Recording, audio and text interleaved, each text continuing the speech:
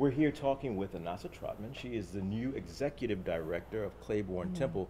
Thank you for making time for us oh, today. Oh, thank you for making time for us. Well, we want to know about you. We want to know uh, what what what what do you see here? We know that mm. you're in mm. love with this building, with this I place. Am. You're in love with this community, with Memphis. I am. All these things go together.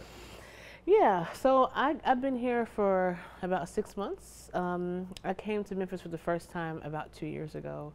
I was working with some other organizations on some projects, and I walked into Clayborn Temple, and my brain exploded from the beauty and the majesty and the history in here, and I just fell in love with the building right away, right away.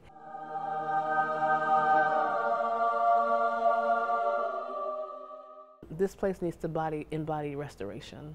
So when I think about the sanitation workers and I think about Mayor Loeb and the whole zeitgeist that was created with the conversations between those two camps, it really makes me think about folks like Robert Church and E.H. Crump and the long history of this community and the thriving community that it once was.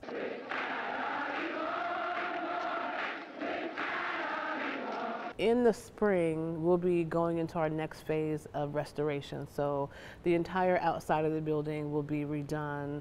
The stone will be refreshed. All the um, stained glass windows will be repaired and replaced when necessary. The normal windows, the bell tower will be restored. We're even trying to figure out if we can do the spire so we can get that whole 250 feet back.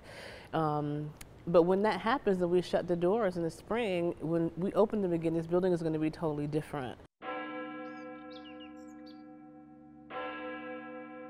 My number one goal in the next few months in particular is just to let people know that we're here and they are welcome because I tell my team all the time the minute that one person feels unwelcome here, we have failed. And so it's really, really important that folks know that this belongs to them. This is not my building, it's not our building. This asset belongs to this community and needs to be used by this community to be able to bring about whatever transformation this community wants.